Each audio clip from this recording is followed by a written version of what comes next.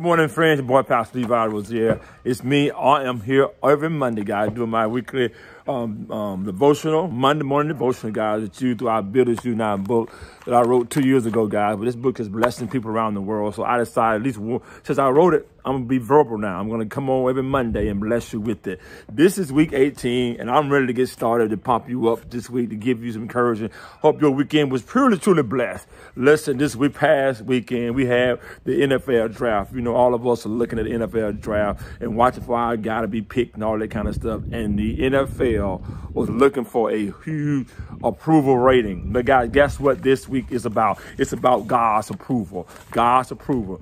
The Bible said in Hebrews 6, Hebrews 11 and 6, it says, without faith, it is impossible to please God. For he who comes to God must believe that he is and a rewarder of, of, of, of those who seek his faith. That means the only the way we get God's approval is where our approval rating go up is that we just have faith in God. The NFL wanted an approval rating so bad they went on and looked at all the numbers of those who watched it and their approval rating were rather high this weekend because we couldn't do what they couldn't be uh, had to be virtual. But listen, God is already approving you and I when we believe in Him by faith. I know we try to put on clothes for people to like us to get people approval. We try to put the right stuff out there on Facebook to get people approval. We want everybody to like our stuff to get an approval. And I realize if you are in the retail business and those things, you need approval rating to keep your clientele to stay on the air. I'm not knocking those things, but those things become internal though.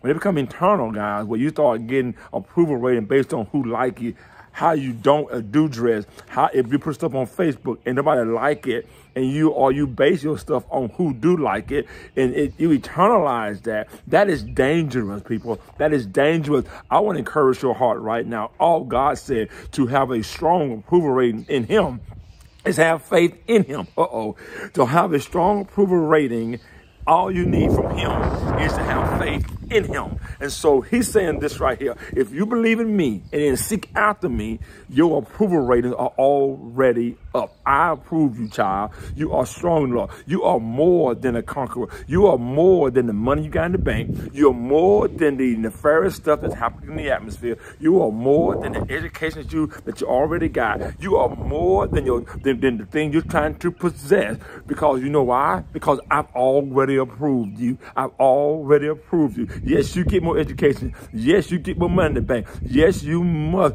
do those things you need to do. But let me tell you something, child of God and woman of God, you are already approved because you believe in him. That's why he said, don't walk in guilt. Don't walk in shame. Don't walk in despair. You may not have the same as, as, as, much money as the other guy. You may not have the same education as the other guy, but you're already approved. Man, that's powerful stuff to know you're already approved instead of trying to go get approval from everybody else. Everybody else, because she said it, he said it. That's okay. Let them say that. But when you're approved by God and God got your back, you walk in confidence. You walk in faith. You walk in and get the reward of what of the, uh, uh, from God, who because you're seeking after Him. I mean, he, when your approval rating is up, He gives you what you need when you need it.